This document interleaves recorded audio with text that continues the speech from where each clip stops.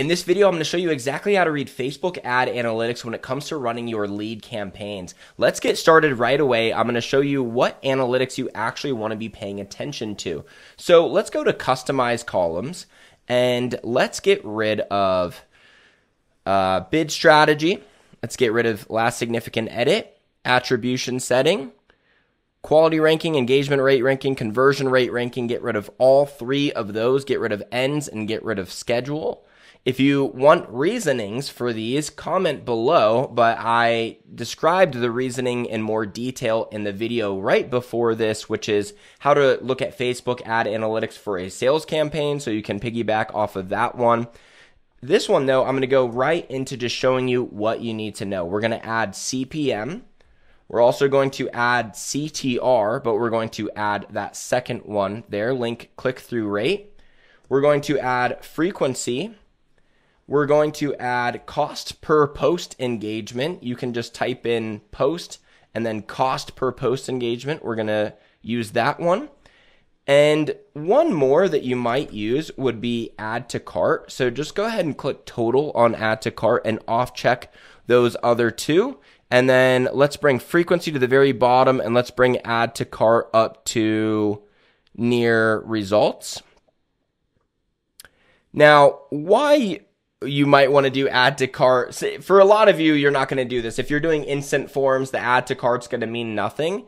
But the add to cart is good if you are doing a ob, uh, a but the add to cart is good if you are using a web page for your landing page to collect the lead. And then we can set an action before they fill out the entire form as an add to cart just kind of a way to track how many people are getting through like half of the process once they get over to your website. So I'm going to put add to cart in there. Let's go to save as column preset and call it leads. And now let's look at some of this data here and talk about how we would analyze it. So, reach and impressions, the difference between this, reach is the amount of different accounts that saw your ad and impressions is the total amount of times that it's shown. So 8,332 different people have seen the ad 21,262 times is what that would mean. Cost per lead is what is going on in this column. Amount spent, uh, self-explanatory. CPM is your cost to show an ad to 1,000 people, or not 1,000 people, but 1,000 times. And this will get cheaper the more that Facebook likes your ad. So, this is something that we might analyze as far as the content goes. And then click through rate is the percentage of people who see your ad and click on it. Cost per post engagement an engagement is a like, share, comment, or save. So this is the amount of money that you have to spend on your ads on average before one of those four things is triggered. And then frequency is impressions divided by reach. So this means that the average person has seen the ad 2.55 times is what that would mean. So, and then of course, total amount of leads is going to be the results column. So what does this mean when it comes down to reading the analytics? How do we make decisions? Just like with the sales campaign, where we start off with the most accurate data column, which is ROAS, with the leads campaign, the most accurate data column is going to be cost per lead. Now, I do have to mention that the most accurate data column in reality is cost per sale, but that won't be in Facebook Ads Manager. So we'll look at just cost per lead. But if you have one campaign that is running that is getting you a super low cost per lead, but a bunch of those people aren't turning into sales, but and then you had another one where the cost per lead is really high, but a lot of those are turning into sales, which is actually very common that it could work out like that then you want to pay attention to cost per sale. That's actually what matters. So just know that cost per lead it is the most accurate data column when comparing apples to apples, but if you have one campaign that is running to a landing page and another one that's running to an instant form, instant form you're always going to get cheaper lead cost, which is not always good too because a lot of times the more expensive leads they happen because you made the customer jump through more hoops. They filled out a longer application form or there was more qualifications displayed on the front end and they still became a lead. So you just have to know that cost per lead, it's not always conclusive that the higher it is, the worse that it is, or uh, vice versa. So as long as you keep that in mind, uh, just know that. So we're going to look at cost per lead, and then I'm going to look at these other columns as a means of verifying my theories. So let me go into one of the campaigns, and we're going to just look at these three ads. And I'm going to make a decision about this campaign live with you right now. So this one is getting $21 per lead. This one's getting 29. This one's getting $39 per lead. What I would say is, all right, which ad can I potentially turn off is a great question to ask. So what is getting the worst cost per lead is this one. Now, the next question I'm going to ask myself is Is this conclusive? Is this data conclusive, or would I be pulling the plug too early? The fact that it's got 11 leads means that I would say that this is a fairly conclusive uh, stat, and I can expect that my cost per lead will be pretty much in the same range. And it is quite a bit higher than the other ones. Uh, I, I like to say that after five leads or five sales, you're actually probably pretty close to what the data is going to be. So it does seem conclusive.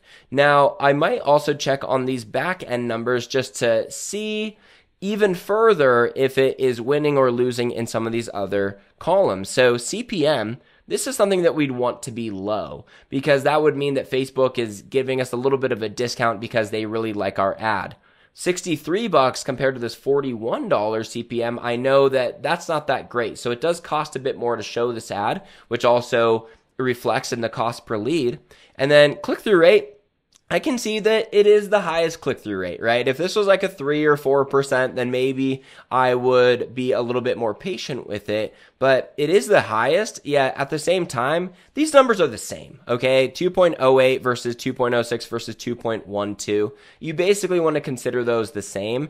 And then same with cost per post engagement this is right in line with these other ones. So it's on a, it's an average result here, it's an average result here, it's a, a bit high of a result here, and then it is a really bad result in the column that matters most. So in this case, I would say let's turn this one off. The other thing that I could ask is why? Why did I turn that one off? So I'm not going to go into my client's video here, but you would go into the video and the thing that you're going to really analyze would be the very start of that ad. This is always going to be the biggest impact as far as the creative goes. When it is an image, it's going to be what is that headline? What is that first thing that is said at the top? Is where to point the finger at and you're you're going to be a lot more accurate thinking it's that rather than your caption or something else. Similarly with the video, however it starts, the first 3 to 5 seconds of that video is going to make the biggest impact. So, I could turn it off, but I could also say, well, let me change the starting point of the video and then relaunch it is another thing that you could do. All right. Sometimes you might think, oh, well, that's such a great video. I don't know why it's not doing well if you just optimize the starting point of the video, that would be an honest way to re restart it and give it another try. Now in that case, I would duplicate the ad and then I would make the variation and then I would keep the data separate, okay? So it, it is very important that I would turn this one off still, make a new one, optimize the starting point and then continue. For now though, just looking at these three ads, I will absolutely turn that one off. Now, looking at these other two, I can see, you know, $29 is still a bit more than 21. Is that conclusive? It is at 10 leads. So I would say that it is decently conclusive. The uh, click through rate is also in the same ballpark. The cost per post engagement is the worst, but um, it's not that much worse than uh, the other one here. So, you know, it's this is winning on click through rate. This is winning on cost per post engagement. This is winning on CPM. This is winning on cost per lead. This one is definitely the clear winner. I might not say, let me just run all my budget to this one quite yet, though.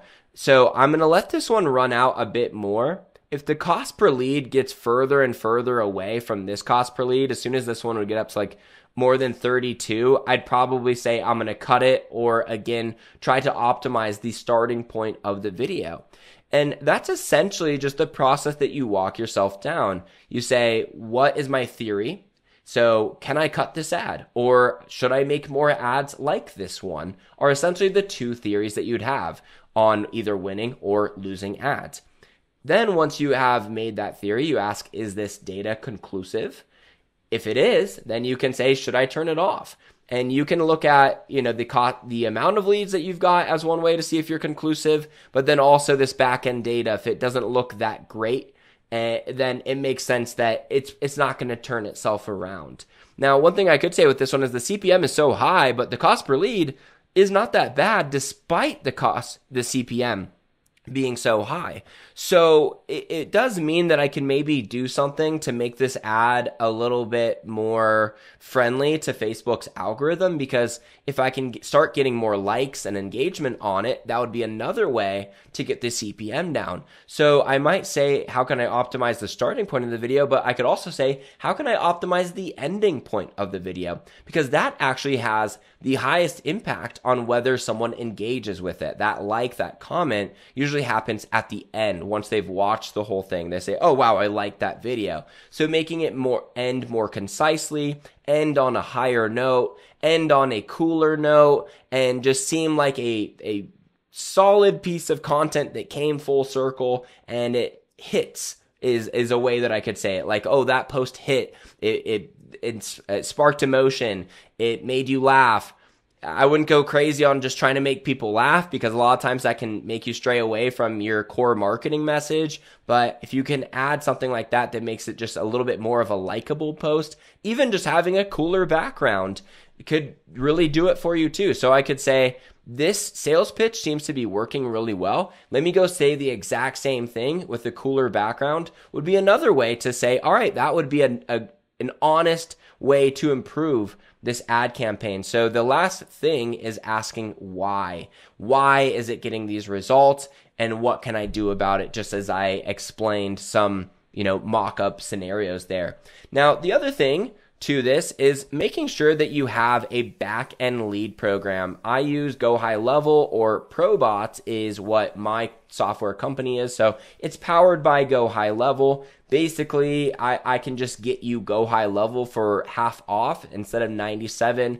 You can get it through my link in the description for $49. You're just going to have a pretty ProBots logo up at the top rather than Go High Level and you'll be able to contact me for help. But in here, you can see I have these different columns which I made and you can customize and you can just bring leads. You can drag and drop them between the different stages. And this is really key for being able to manage your leads. I've got my, uh, you know, booked appointments, didn't show to the call. If I bring them over to didn't show to the call, they get an automatic, hey, where were you? You know, reschedule at this link email. If they showed to call, but they didn't buy, I'm going to bring them there. And that's going to give them an email that says, hey, here's all of my program offerings. Here's some more free resources. If they purchased, depending on what they purchased, it's going to get them uh, different materials that way too. So having this back end process is really going to be the key because, like I said before, cost per sale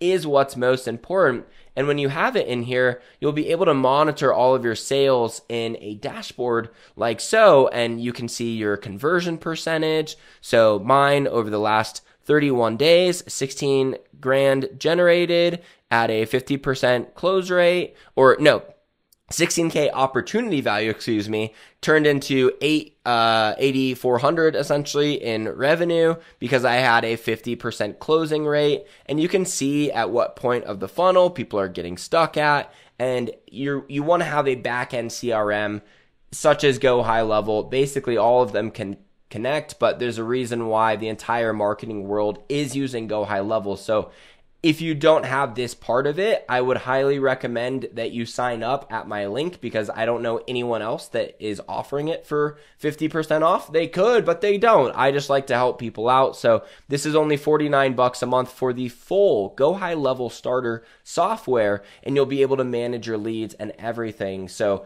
Go to socialbamboo.com for more free resources, including booking a free call with me. I hope you got some great value today, and be sure to comment below any questions you have. I will make sure to get back to you soon. See you next video.